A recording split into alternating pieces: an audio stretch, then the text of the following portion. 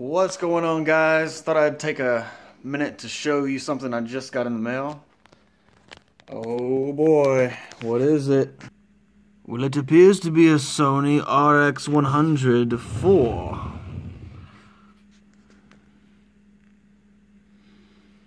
I'm super pumped about this camera. Uh, got it used off of eBay and it works perfectly. Has a few minor little nicks and scuffs here and there, but everything seems to work perfectly on it. Um, I haven't tried every single feature yet, but all the major functions are perfect. Uh, it just has a couple little tiny nicks on the on the ridge right there. I don't know if you can see them on the video or not,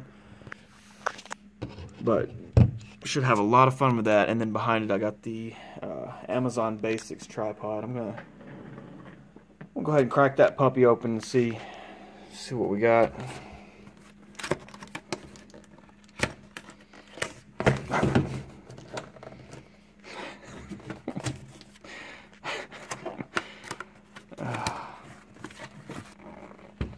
So this was a really inexpensive tripod. Hopefully it'll not be a total piece of crap.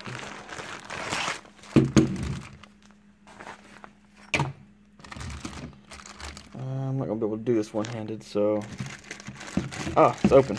Awesome. That frustration-free package. Alright. Cool. That is surprisingly good. Better than what I thought it was going to be.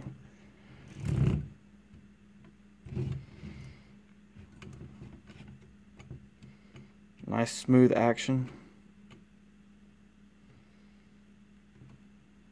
Yeah, that should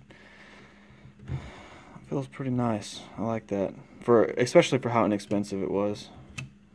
All right, so basically the way you're going to want to work this is there's a little lever. I mean, this is tripod 101, but little lever you'll push and then you just peel this right off and you flip it over and you notice there's a little key. Ahead and get that sticking straight out.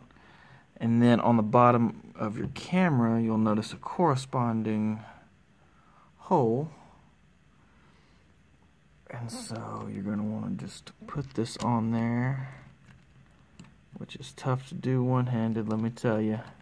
Tighten it down real good. And now you got your little mobile assault quick release action. You just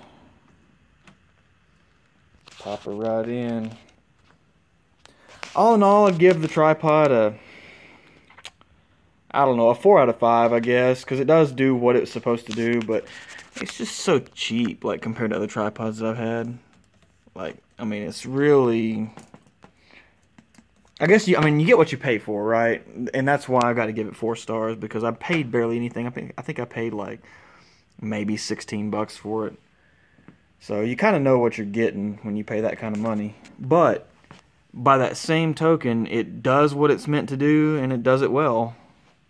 So, that's that.